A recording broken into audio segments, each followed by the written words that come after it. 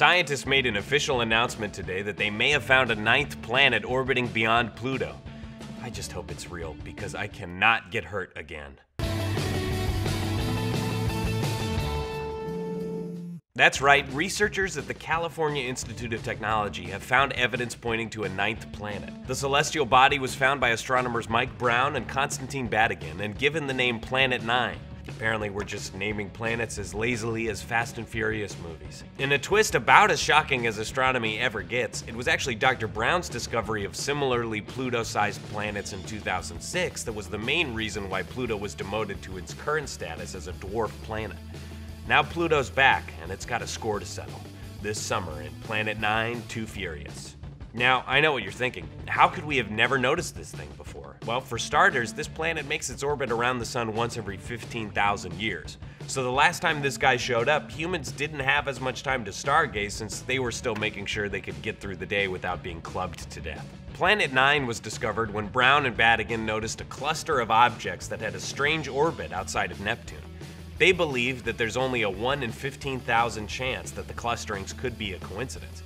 Instead, they think that a planet with a mass of 10 Earths has actually altered the orbits of those objects. If that were the case, then Planet 9 would win all sorts of weird records. Its closest approach to the Sun would be seven times farther than Neptune, and may even travel out farther than the Kuiper Belt, which is where the pathetic rock formerly known as a planet, Pluto, currently resides. It would also give Planet 9 the distinction of having the largest orbit of any planet in our solar system. Now I have the same question about Planet 9 as I do about my girlfriend. What would it look like if it actually existed? Brown and Batygin believe that for the math to work, it would have to be the size of a mini Neptune and would most likely have a thick, gaseous atmosphere around a rocky core. It's possible that the planet could have been the start of another gas giant during the birth of our galaxy. It would have then been ejected into the far reaches of the solar system after a close pass to Jupiter. Scientists are excited to find out if the planet is real, as it could have a positive impact on future space travel.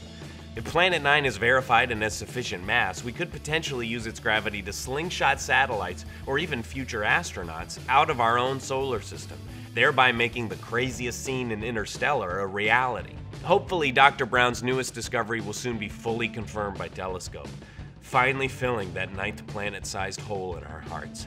Hey, thanks for watching The Daily Desk. If you like what you saw, click to subscribe, comment below, share the link with a friend or an enemy. I don't care.